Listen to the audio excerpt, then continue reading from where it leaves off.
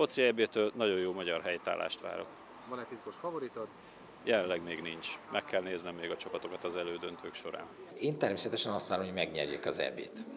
Ennek a valószínűség számítási vizsgálatait szerintem ne kezdjük el, de azt minden esetre elvárom, hogy a labancokat 2 óra két vára fektessék. Ez, azért is mondom ezt, mert én magam részéről a nagyfiammal, Mártonnal, aki lassan 18 éves lesz, ott leszek a helyszínen, magyar mezben, amint azt a, ezen a fotón is látható volt, amit említettél.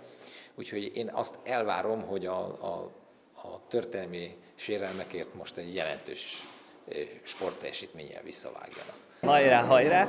Én azt gondolom, hogy nem vagyok túl optimista, azt gondolom, hogy már eleve most büszkék vagyunk.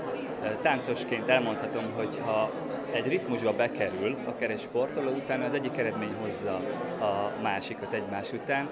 Nem akarok most így találgatásokba bocsátkozni, de az biztos, hogy az összes meccset végig fogjuk izgulni. Nagyon várom először is az EB-t, ez természetes. Azt egy kicsit sajnálom, hogy Ausztria és Magyarország egy csoportba került, mert nekem a egy családom egyik fele osztrák, ezért az osztrák csapatot is szeretem, de persze nagyon örülök neki, hogy 44 év után kijutottak a magyarok. Hát ez a csoport, ez egy csalóka csoport, mert nagyon könnyűnek tűnik, meg egyszerűen nagyon nehéznek is. Én abban bízom, hogy a magyar válogatott azért pontot, pontokat fog szerezni, és ha így lesz, akkor akár tovább is juthatunk és mehetünk egy kört.